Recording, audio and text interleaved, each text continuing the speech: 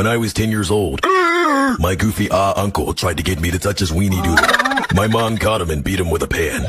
I created an explosive bomb and put it in my sister's lunchbox and blew her to smithereens.